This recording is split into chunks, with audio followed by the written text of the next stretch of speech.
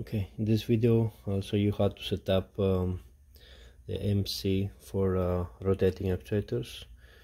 Um, first of all make sure you have the latest uh, firmware 211 uh, and then you have to reset the controller to make sure everything is uh, so hold the exit and press the reset to restore defaults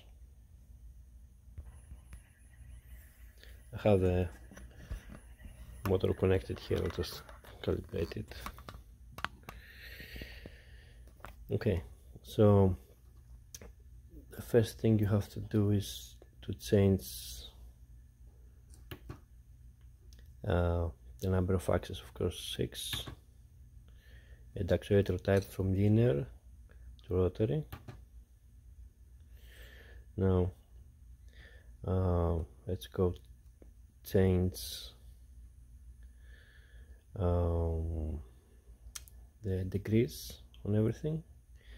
So the angles you want to achieve it's gonna be 180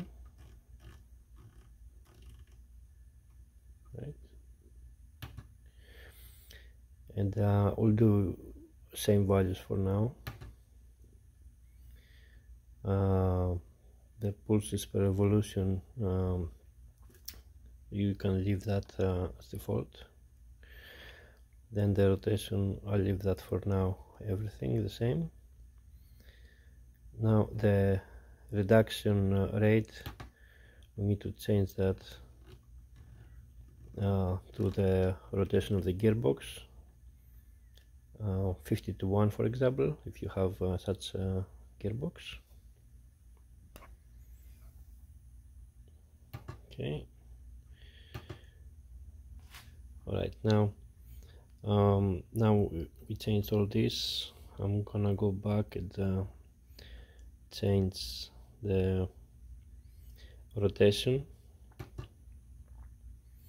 Uh, the first one will be uh, counterclockwise for example.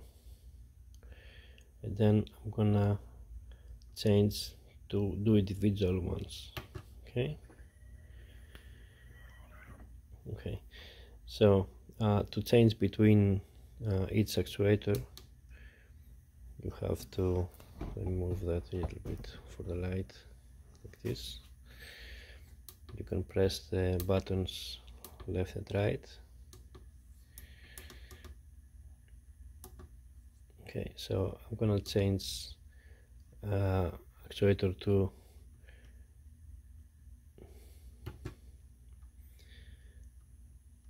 be counterclockwise. Actuator to clockwise. Counterclockwise. Clockwise. Counterclockwise. Okay. So save that as the individual ones. So now if you go through each one. You'll see that they're uh, clockwise counterclockwise clockwise counterclockwise etc okay? Uh, now the rest uh, should all have the same settings. That's why I said to leave the same so you don't have to do individual one settings for each one of these. And the same with this. And the same with this will have all the same settings there.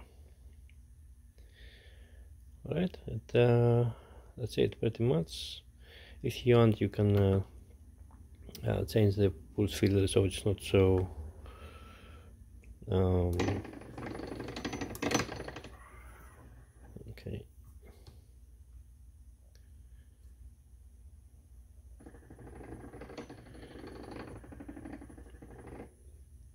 To do that you have activated the motor um, Alright, so what else? Back motors.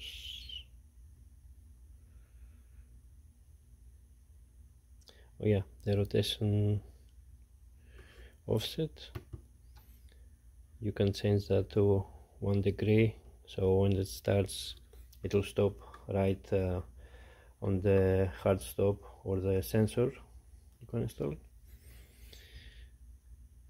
uh, so let me put it on one degree. All right now let me reset controller. And show you here how it's calibrating now. Now the first one it's calibrating counterclockwise and as soon as it stops. It's it's not moving forward too much. It's just moving one degree if uh, the second motor for example you'll see it'll try to calibrate clockwise. Alright the third one will calibrate counterclockwise and the other one clockwise and so on. Okay? So yeah that's it. And a few other little settings uh, like platform check if uh, any of the motors for example um, it's disconnected um, meaning uh, uh, for example uh, might give an error. You can uh, let me go back here. If any of this for example is disconnected it won't start it will stay uh, parked. Okay well that's it. Thanks for watching